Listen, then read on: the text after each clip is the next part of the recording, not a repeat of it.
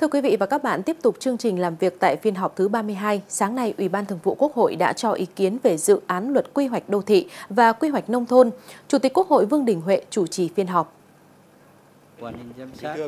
Cơ bản nhất trí với sự cần thiết ban hành dự án luật quy hoạch đô thị và quy hoạch nông thôn nhằm thể chế hóa chủ trương, chính sách của Đảng, đáp ứng yêu cầu phát triển bền vững. Tổng thư ký Quốc hội, chủ nhiệm văn phòng Quốc hội Bùi Văn Cường cho rằng đây là dự án luật quan trọng, Bên cạnh dự án luật đất đai, luật nhà ở, luật kinh doanh bất động sản, dự án luật này sẽ góp phần hoàn thiện khuôn khổ pháp lý về quản lý đất đai, phát triển cơ sở hạ tầng. Tuy nhiên, khoản 2 điều 10 quy định về bảo vệ môi trường trong quy hoạch đô thị và nông thôn cần ra soát lại để tránh trồng chéo với luật bảo vệ môi trường. Thì tại khoản 2 điều 10 dự thảo của luật có quy định là nội dung quy định yêu cầu về bảo vệ môi trường trong quy hoạch đô thị và nông thôn thực hiện theo pháp luật về bảo vệ môi trường. À, tức là dự thảo này chúng ta nói là ờ, theo pháp luật về bảo vệ môi trường. Thế nhưng mà trong khoản 2 điều 23 của luật bảo vệ môi trường 2020 thì quy định nội dung về quy hoạch bảo vệ môi trường quốc gia vân vân được thực hiện theo quy định của pháp luật về quy hoạch về uh, quy hoạch bảo vệ môi trường quốc gia nội dung bảo vệ môi trường trong quy hoạch vùng quy hoạch tỉnh mà không quy định trong cái nội dung về bảo vệ môi trường trong quy hoạch đô thị quy hoạch nông thôn do đó cần đề nghị nghiên cứu bổ sung trong dự thảo luật để đảm bảo cái sự kết nối và thực hiện các cái yêu cầu về bảo vệ môi trường đã được xác định trong quy hoạch bảo vệ môi trường quốc gia quy hoạch vùng quy hoạch tỉnh nhất là trong việc xác định phân vùng bảo vệ môi trường ờ, ờ, Phát biểu tại phiên thảo luận, Chủ tịch Quốc hội Vương Đình Huệ đánh giá cao công tác chuẩn bị dự án luật, đồng thời đánh giá cao Ủy ban Kinh tế đã có báo cáo thẩm tra sơ bộ, nêu nhiều vấn đề lớn chi tiết để có cơ sở tiếp tục hoàn thiện thêm. Cho ý kiến vào một số nội dung cụ thể, Chủ tịch Quốc hội đề nghị ban soạn thảo cần tiếp tục giả soát cụ thể hơn quan điểm, nguyên tắc trong các văn kiện của Đảng đã nêu. Chúng tôi đề nghị là tiếp tục giả soát để mà cụ thể hóa hơn một số các cái, cái quan điểm, à, nguyên tắc mà trong các văn kiện của Đảng đã nêu. Cái thứ nhất là cái mối quan hệ giữa đô thị hóa và xây dựng nông thôn mới cái thứ hai là cái mối quan hệ giữa đô thị hóa và phát triển kinh tế đô thị. Cái ờ, điểm thứ ba là chúng ta nói rằng là quy hoạch thì phải thích ứng với vấn đề biến đổi khí hậu. Vấn đề thứ tư mà tôi thấy một vấn đề này cũng là cái thực tế đòi hỏi mới cũng như là vấn đề bất cập. Đó là cái tiêu chí, tiêu chuẩn về quy hoạch đô thị mà gắn với mật độ dân số và kết cấu hạ tầng để tính toán cái cân bằng giữa cái việc phát triển đô thị ờ, theo cái chiều rộng và cái vấn đề phát triển đô thị nén theo cái mô hình TOD.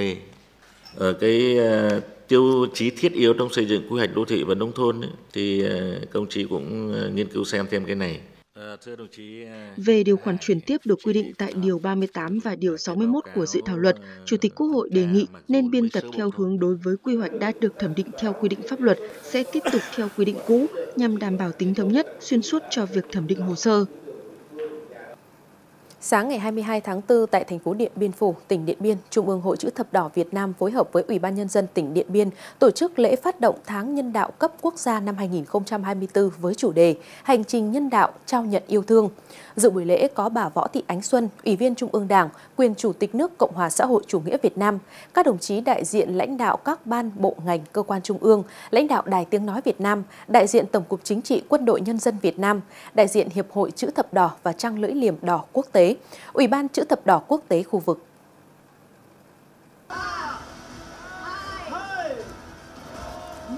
Điểm nhấn của tháng nhân đạo năm nay là chiến dịch triệu bước chân nhân ái từ ngày 25 tháng 2 đến ngày 21 tháng 4 do Trung ương Hội chữ thập đỏ Việt Nam, Hội Liên hiệp Thanh niên Việt Nam phối hợp tổ chức trên các nền tảng web mobile, app, V-Ray. Chiến dịch kéo dài 56 ngày đêm, thu hút gần 100.000 người tham gia, chinh phục trên 2 triệu km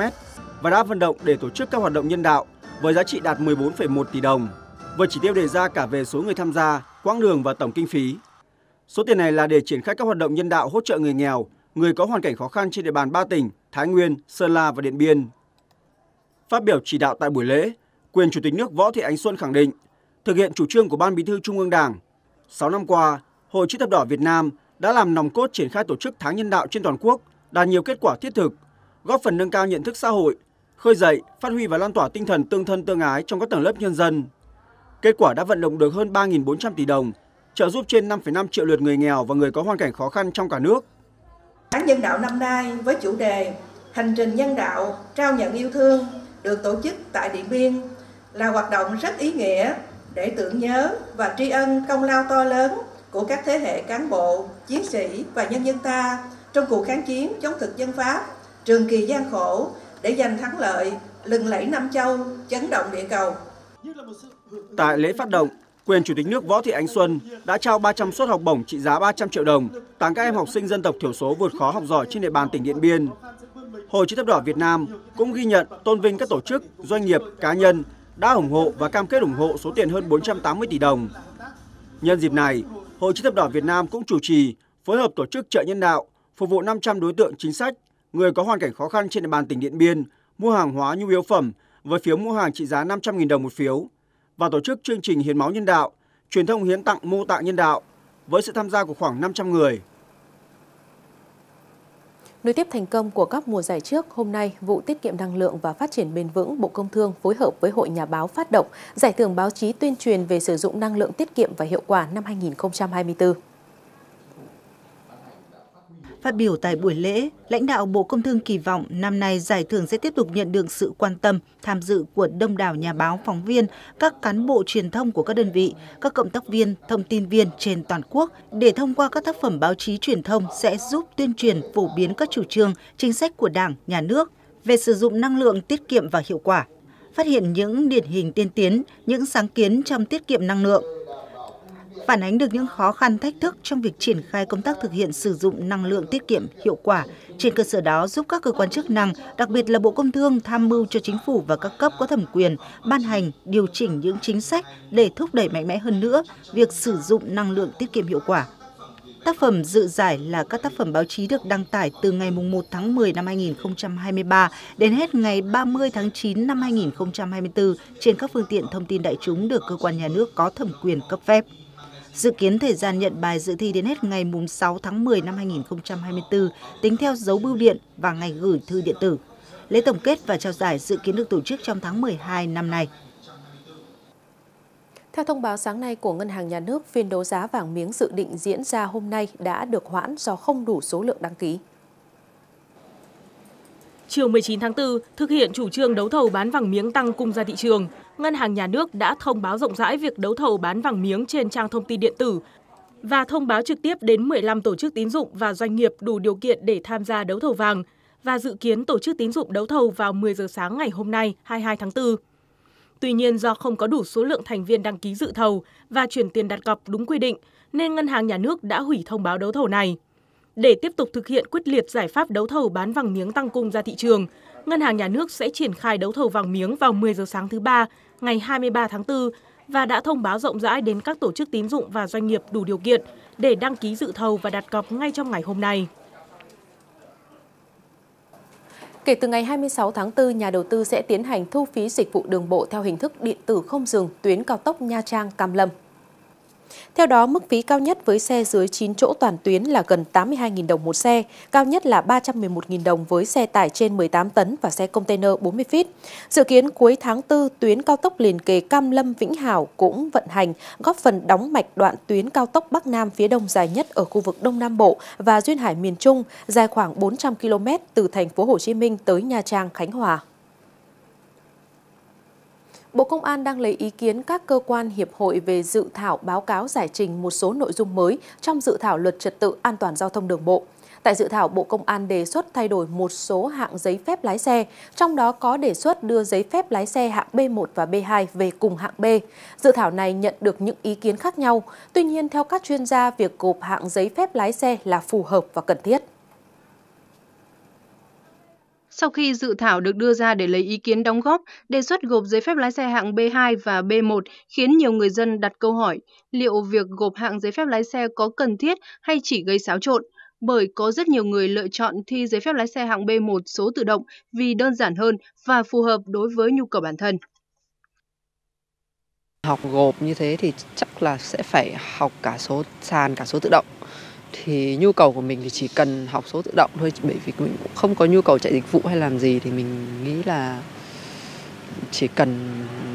như hiện tại là ổn. Theo mình thì là lên gộp vào đấy thì nó cắt đi một cái khoản học bằng nọ, xong lại nâng chuyển đổi sang bằng kia thì nó giảm những cái tiểu số chi phí của anh em nhiều hơn, của người dân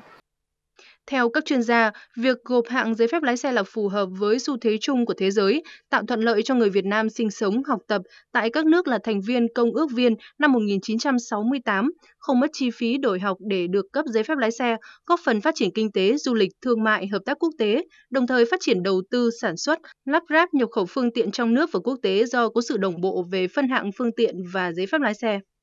gộp lại như thế thì nó cũng rất phù hợp với lại cái cái gọi là quan niệm cũng như cái tổ chức giao thông của quốc tế đấy. Bởi bên một hay hai thực ra là nó không tranh nhau lắm về vấn đề gọi là là cái à, phân khối của xe cũng như là cái cái gọi là trọng lượng cũng như là cái cái gọi là kích thước của xe. Cho nên B1 B2 thì nó tương đối gần nhau và gộp lại như thế thì nó tiện quản lý và nó cũng tiện cho người dân sử dụng nữa theo dự thảo, quy định đổi hạng giấy phép lái xe chỉ áp dụng cho sát hạch, cấp mới và trường hợp cấp đổi cấp lại. Có ý kiến cho rằng việc gộp hạng giấy phép lái xe là cần thiết. Tuy nhiên, làm thế nào để khi phương án mới được thực hiện sẽ không gây xáo trộn trong công tác đào tạo và sát hạch lái xe? Nó cũng phải có một quá trình cho nó thích nghi và nó đảm bảo cái tính chất chuyển đổi đó nó phù hợp, nó không tạo sự xáo trộn, nó không tạo ra một cái phiền nhiễu cho những người dân mà nó chỉ giúp cho cái quá trình quản lý tốt hơn và cái người dân sử dụng nó tiện lợi hơn. Bên cạnh đó, nhiều ý kiến cũng cho rằng nếu thực hiện phương án gộp hạng giấy phép lái xe cần có quy định phù hợp để vừa giúp người dân sử dụng giấy phép lái xe hạng B1 số tự động hiểu biết, nâng cao kỹ năng điều khiển phương tiện số sàn, vừa không gây phiền phức tốn kém cho người dân. Vừa qua, nhà máy Pearl Global Việt Nam đạt được chứng nhận Lead O&M hạng vàng. Đây là nhà máy may mặc đầu tiên tại Việt Nam đạt được chứng nhận này ở hạng vàng do Bureau Veritas đã nộp hồ sơ đăng ký chứng nhận thông qua nền tảng Lead Online và tích cực hỗ trợ Pearl Global Việt Nam trong việc làm rõ các thắc mắc của đánh giá viên thuộc Hội đồng Công trình xanh Hoa Kỳ. Tiêu chuẩn LEED có tính biểu tượng quốc tế về sự xuất sắc trong thiết kế, xây dựng và vận hành các công trình xanh hiệu suất cao. LEED thay đổi cách công trình được thiết kế, xây dựng và vận hành nhằm tạo ra một môi trường sống lành mạnh, có trách nhiệm với môi trường và xã hội nhằm cải thiện chất lượng cuộc sống. Chủ sở hữu và người vận hành công trình có thể đạt được những lợi ích đáng kể với LEED như giảm mức tiêu thụ năng lượng và nước, giảm chi phí vận hành và bảo trì, giảm lượng khí thải carbon dioxide, nâng cao mức độ hài lòng của người sử dụng. Ngoài ra, các công trình được chứng nhận LEED còn thu hút những khách hàng ưu tiên tính bền vững, từ đó nâng cao khả năng tiếp cận thị trường và mức độ cạnh tranh. vương Global là một công ty à, may mặc hàng đầu của Ấn Độ và họ có rất nhiều các nhà máy sản xuất tại một số nước trên thế giới và cũng có một cái cơ sở sản xuất rất lớn tại Việt Nam. Và cái động lực mà vương Global làm việc với Bureau Veritas là để tiến tới đạt được cái chứng nhận của tổ chức là USGBC là tổ chức phát triển công trình xanh của Mỹ và tổ chức này họ đưa ra những chứng nhận như vậy trên những cơ sở và những cái tiêu chí mà được thế giới công nhận và cái tiêu chuẩn này hoàn toàn ở góc độ tự nguyện Uh, Tôi thực sự đánh giá cao Bureau Veritas vì tinh thần đồng đội và sự cộng tác tuyệt vời khi cùng nhau đạt được chứng nhận này. Chúng tôi đánh giá cao kiến thức, chuyên môn kỹ thuật của họ đã hướng dẫn chúng tôi rất tốt. Mọi thứ đều tuyệt vời. Dưới sự hướng dẫn của Bureau Veritas, chúng tôi nhanh chóng triển khai các hành động cần thiết. Điều quan trọng hơn là chúng tôi đã đạt được mục tiêu đúng hạn. Bureau Veritas áp dụng quy trình đánh giá nghiêm ngặt, sử dụng công nghệ và phương pháp tiên tiến để xác minh việc tuân thủ các tiêu chuẩn công trình xanh. Thông qua khảo sát tại hiện trường, phân tích dữ liệu và xem xét tài liệu, Bureau Veritas đảm bảo rằng các công trình đang theo đuổi chứng nhận đáp ứng các yêu cầu nghiêm ngặt và tiêu chuẩn hiệu suất do hệ thống chứng nhận đặt ra. Nhiều đoạn triền đê sông Hồng chạy dọc phố Nguyễn Khoái Hà Nội đang được phủ thêm một lớp áo màu xanh mướt vô cùng đã mắt. Một số hộ dân trong khu vực đã trồng rau xanh vào các lỗ đất trên triền đê để hạn chế tình trạng ô nhiễm môi trường do nạn đổ phế thải trộm. Ông Phan Chính, một hộ dân sinh sống tại đê Nguyễn Khoái, Hà Nội cho biết, khi mái đê làm xong, một thời gian cỏ dại mọc um tùm mất mỹ quan đô thị. Một số đoạn trở thành nơi đổ rác, tập kết phế liệu gây mùi hôi thối khó chịu, Ông Chính và các hộ dân xung quanh quyết định dọn cỏ dại, đắp đất trồng rau vào những ô trống trên triển đê để có thể giảm bớt ô nhiễm, một phần tạo ra những thực phẩm sạch cho bữa ăn hàng ngày. Thấy cái tình hình đó cây cỏ mọc nó um tùm, mới là mất vệ sinh, rác thải vứt bừa bãi thì là bà con trong xóm và dân cư ở đây thì là mỗi người một ít thì là trồng cái rau thứ nhất là mục đích là để là dùng cái rau sạch góp phần vào cải thiện về cuộc sống. Thứ hai là quang cảnh môi trường thì nó đẹp và nhiều người đi qua người ta bảo đấy mô hình này nó cũng ờ, hợp lý và nó cũng không ảnh hưởng gì đến đê điều. Trồng cái rau này để cho nó ờ, nó nó sạch đấy. Đầu tiên là cố định trồng hoa nhưng mà sau thầy dân người ta trồng rau cả thôi nên nhân rồng những cái mô hình như này ừ, cho họ trồng rau cho sạch ừ, họ này lại bảo đảm cho cái đê cho mình nhỉ Đoạn triển đê được tận dụng các ô trống để trồng rau xanh phát triển rất tươi tốt. Thay vì đi chợ, người dân có thể sử dụng rau xanh ngay trước cửa nhà. Việc làm này mang lại lợi ích nhiều mặt, vừa giúp tiết kiệm chi phí mua thực phẩm của các hộ dân sống ở chân đê, vừa giúp mặt đê sạch sẽ, hơn nữa, việc đắp đất trồng rau xanh cũng có phần tôn tạo mặt đê, tránh bị sói lở đất. Làm sạch được cái bờ đê điều cho mọi người đi qua những cái quang cảnh nó sạch đẹp.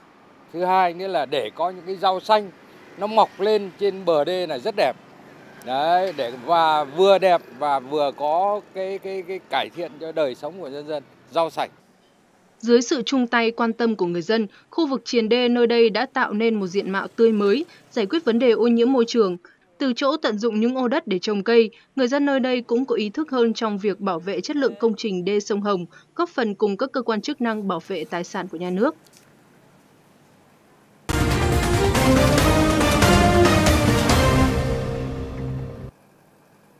Chương trình tiếp tục với những thông tin đang được dư luận xã hội quan tâm. Thưa quý vị, hôm nay Cơ quan Cảnh sát điều tra Bộ Công an đã ra quyết định lệnh khởi tố bổ sung vụ án hình sự, khởi tố bị can bắt tạm giam khám xét đối với ông Phạm Thái Hà, Phó chủ nhiệm Văn phòng Quốc hội, trợ lý Chủ tịch Quốc hội về tội lợi dụng chức vụ quyền hạn gây ảnh hưởng đối với người khác để trục lợi, theo quy định tại khoản 4 điều 358 Bộ luật hình sự năm 2015, sửa đổi bổ sung năm 2017 mở rộng điều tra vụ án vi phạm quy định về đấu thầu gây hậu quả nghiêm trọng, đưa hối lộ, nhận hối lộ xảy ra tại công ty cổ phần tập đoàn Thuận An và các đơn vị tổ chức có liên quan. Ngày 21 tháng 4 năm 2024, cơ quan cảnh sát điều tra Bộ Công an đã ra quyết định lệnh khởi tố bổ sung vụ án hình sự, khởi tố bị can, bắt tạm giam, khám xét đối với ông Phạm Thái Hà, Phó chủ nhiệm Văn phòng Quốc hội, trợ lý Chủ tịch Quốc hội về tội lợi dụng chức vụ quyền hạn gây ảnh hưởng đối với người khác để trục lợi, theo quy định tại khoản 4 điều 358 Bộ luật hình sự năm 2015, sửa đổi bổ sung năm 2017. Hôm nay 22 tháng 4, Viện Kiểm sát Nhân dân tối cao phê chuẩn các lệnh, quyết định nêu trên. Liên quan đến vụ việc cô giáo dùng thức kẻ tác động vào đầu học sinh lớp 1 tại trường phổ thông dân tộc bán chú tiểu học và trung học cơ sở La Pán Tần, huyện Mù Căng Trải, tỉnh Yên Bái, Phòng Giáo dục Đào tạo huyện Mù Căng Trải cho biết đã đình chỉ công tác của cô giáo liên quan để phục vụ điều tra xác minh làm rõ vụ việc. Trước đó sáng ngày 15 tháng 4, trong quá trình dạy học, cô giáo Giàng Thị Sáng, giáo viên chủ nhiệm lớp 1C có dùng thước kẻ tác động lên đầu học sinh Lù Thị Linh, học sinh của lớp. Hai ngày sau, học sinh Lù Thị Linh mắt có cuồng thâm, không rõ nguyên nhân. Cô giáo đã báo cáo lãnh đạo nhà trường. Lãnh đạo nhà trường đã trực tiếp kiểm tra, nắm bắt tình hình sức khỏe học sinh, sau đó đưa học sinh Lù Thị Linh đi kiểm tra sức khỏe. Kết quả em Linh bị dập phần mô mềm trên da đầu, dẫn đến tụ máu, truyền sang mắt, không thấy tổn thương hộp sọ.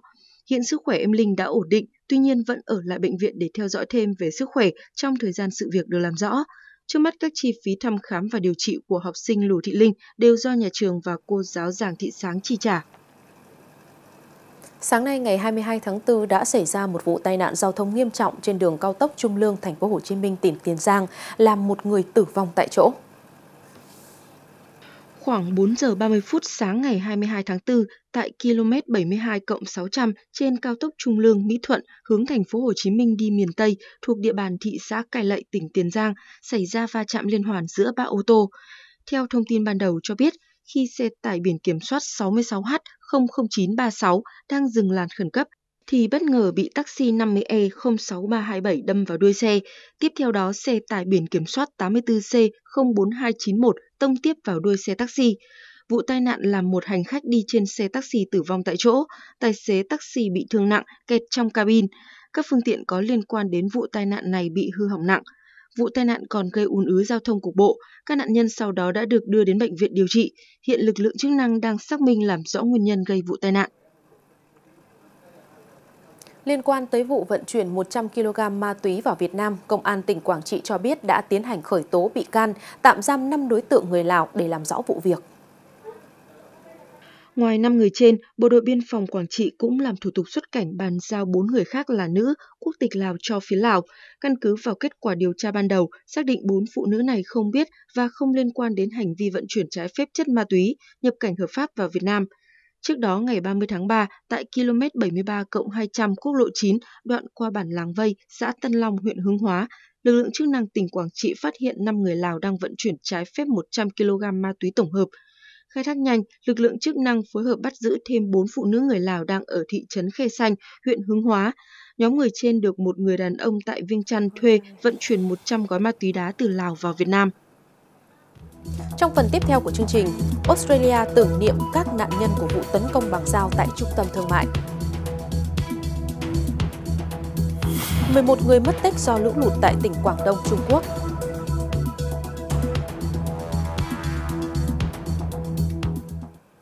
Xin được chuyển sang những thông tin quốc tế đáng chú ý. Thưa quý vị, hàng trăm người đã thắp nến cầu nguyện trên bãi biển Bondi, Australia vào tối qua ngày 21 tháng 4 để tưởng niệm các nạn nhân của vụ tấn công bằng dao tại một trung tâm thương mại ở thành phố Sydney. 6 người thiệt mạng và nhiều người khác bị thương khi đối tượng Join Cauchy thực hiện vụ tấn công tại trung tâm thương mại Westfield Bondi Junction vào ngày 13 tháng 4 vừa qua. Đây là một trong những vụ tội phạm bạo lực tồi tệ nhất ở thành phố Sydney trong những năm gần đây. Trong bài phát biểu, Thủ tướng Albanese bày tỏ tiếc thương đối với tất cả khả năng và tiềm năng, lòng tốt và lòng nhân ái, tình yêu và tiếng cười của sáu sinh mạng đã bị cướp đi. Chúng ta tập trung ở đây để tưởng nhớ những gì đã bị đánh cắp khỏi chúng ta. Khi cầu nguyện cho sáu linh hồn đã mất, hãy dành một vị trí trong trái tim mình cho những người bị ảnh hưởng những người bị thương, những người đang chăm sóc họ, những người vẫn đang nằm viện và những người đang bước những bước đầu tiên trên con đường hồi phục khó khăn, những người sống sót mang theo những vết sẹo vô hình của chấn thương và nỗi sợ hãi.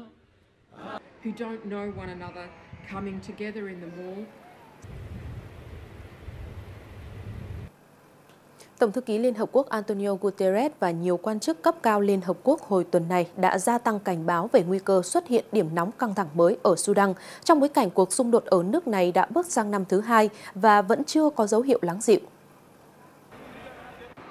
Kể từ khi xung đột tại Sudan nổ ra hồi giữa tháng 4 năm ngoái, thị trấn El Fasher đã trở thành một trung tâm cung cấp hỗ trợ nhân đạo quan trọng cho toàn bộ khu vực Darfur, nơi sinh sống của khoảng 1 phần tư trong số 48 triệu dân của Sudan. Tuy nhiên, kể từ giữa tháng 4 năm nay, các vụ đánh bom và giao tranh đã xảy ra ở một số địa điểm xung quanh thị trấn này. Tổng thư ký Liên Hợp Quốc Antonio Guterres trước đó cũng đã cảnh báo về tình hình khủng hoảng tại khu vực này. Hiện có những báo cáo về một cuộc tấn công sắp diễn ra của lực lượng hỗ trợ nhanh bán quân sự nhằm vào Enfaser. Fasher. Các báo cáo mới nhất về tình trạng thù địch leo thang ở Enfaser, Fasher, thủ phủ của Bắc Darfur, là một nguyên nhân mới gây ra báo động sâu sắc. Lực lượng dân quân liên kết với lực lượng hỗ trợ nhanh bán quân sự đã tấn công và đốt cháy các ngôi làng phía tây thành phố, dẫn đến làn sóng di rời mới trên diện rộng và làm gia tăng lo ngại về một điểm nóng xung đột mới. Một cuộc tấn công vào Enfaser sẽ khiến thêm nhiều dân thường thương vong và có thể dẫn đến một cuộc xung đột toàn diện trên khắp Darfur. Nó cũng có thể làm gián đoạn các hoạt động viện trợ nhân đạo ở một số khu vực trên bờ vực nạn đói, bởi Enfaser là một trung tâm nhân đạo quan trọng của Liên Hợp Quốc. Cuộc xung đột kéo dài suốt hơn một năm qua tại Sudan đã cướp đi sinh mạng của hàng nghìn người và khiến hơn 8,5 triệu người phải di rời, gây ra một trong những cuộc khủng hoảng nhân đạo và di rời tồi tệ nhất trên thế giới. Lực lượng cứu hộ của Trung Quốc đang chạy đua với thời gian để sơ tán những người dân bị mắc kẹt do lũ lụt nghiêm trọng ở các khu vực vùng nông thôn tại tỉnh Quảng Đông, miền Nam Trung Quốc. Tỉnh Quảng Đông đã phải hứng chịu lượng mưa lớn, kéo dài và lan rộng bất thường kể từ hôm thứ Năm tuần trước, khiến cho nhiều khu vực bị chìm trong nước lũ. Ít nhất 11 người được thông báo là mất tích vào sáng nay, gần 54.000 người đã được di rời khẩn cấp. Truyền thông địa phương đưa tin các thành phố Thiều Quan, Thanh Nguyên, Triệu Khánh và Giang Môn ở phía Tây và phía Bắc của tỉnh Quảng Châu bị ảnh hưởng đặc biệt nặng nề. Tại Thanh Viễn, các ngôi nhà và cửa hàng dọc sông Châu Giang bị chìm do nước dâng cao. Nhiều tuyến đường giao thông đã bị cô lập, ngừng hoạt động. Tại Thiều Quan, lở đất đã khiến nhiều địa điểm bị cô lập, các lực lượng không thể tiếp cận, nhiều người dân bị mắc kẹt phải giải cứu bằng trực thăng. Cơ quan dự báo khí tượng Trung Quốc cho biết mưa đã giảm bớt vào sáng nay, nhưng nhiều trường học, công sở tại địa phương vẫn đóng cửa. Dự báo khu vực này sẽ tiếp tục có mưa lớn vào tuần tới. Đây là hiện tượng mùa mưa đến sớm bất thường so với hàng năm là vào khoảng cuối tháng 5 và đầu tháng 6. Một nhà máy khử muối mới đã khai trương tại quận Umm Qasr, tỉnh Basra của Iraq nhằm khắc phục tình trạng khan hiếm nước cho người dân và sản xuất nông nghiệp. Cơ sở này sử dụng nước ngầm có thể sản xuất 1.000 mét khối nước sạch cho sinh hoạt và sản xuất nông nghiệp.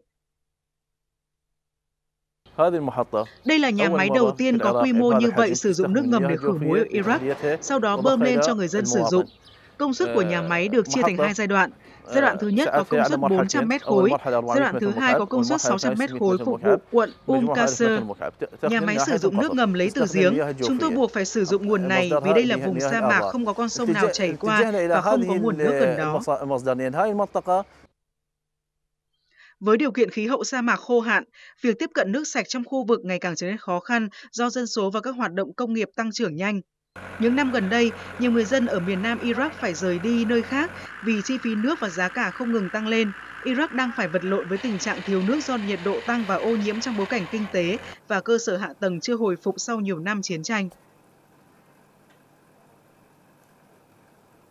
Chuyển sang những thông tin về thời tiết. Theo Trung tâm Dự báo Khí tượng Thủy văn Quốc gia, do ảnh hưởng của không khí lạnh yếu dự báo từ nay đến ngày 24 tháng 4, miền Bắc khả năng có mưa rào và rông rải rác, cục bộ có mưa vừa đến mưa to. Khu vực miền Trung, Tây Nguyên và Nam Bộ tiếp tục có nắng nóng, có nơi nắng nóng gay gắt. Và sau đây sẽ là những thông tin thời tiết chi tiết cho các vùng trên cả nước. Thông tin này cũng sẽ khép lại bản tin của chúng tôi ngày hôm nay. Cảm ơn sự quan tâm theo dõi của quý vị và các bạn. Xin kính chào tạm biệt và hẹn gặp lại.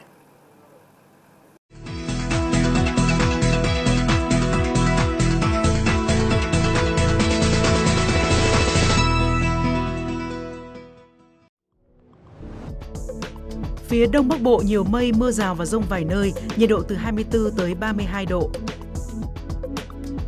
Phía Tây Bắc Bộ có mây, đêm mưa rào và rông vài nơi, ngày nắng, nhiệt độ từ 22 tới 37 độ. Các tỉnh từ Thanh Hóa đến Thừa Thiên Huế có mây, chiều tối và đêm có mưa rào và rông vài nơi, ngày nắng nóng và nắng nóng gay gắt, nhiệt độ từ 25 tới 39 độ. Các tỉnh từ Đà Nẵng đến Bình Thuận có mây, chiều tối và đêm có mưa rào và rông vài nơi, ngày nắng có nơi nắng nóng, nhiệt độ từ 25 tới 35 độ. Khu vực Tây Nguyên có mây, chiều tối và đêm có mưa rào và rông vài nơi, ngày nắng nóng, có nơi nắng nóng gay gắt, gió nhẹ, nhiệt độ từ 22 tới 37 độ. Khu vực Nam Bộ có mây, chiều tối và đêm có mưa rào và rông vài nơi, ngày nắng nóng, có nơi nắng nóng gay gắt, nhiệt độ từ 26 tới 37 độ. Thành phố Hồ Chí Minh ít mây trời nắng, nhiệt độ từ 25 tới 35 độ. Thủ đô Hà Nội nhiều mây, có mưa rào và rông vài nơi, trưa chiều giảm mây trời nắng, chiều tối mai có mưa rào và rông rải rác, nhiệt độ từ 24 tới 32 độ.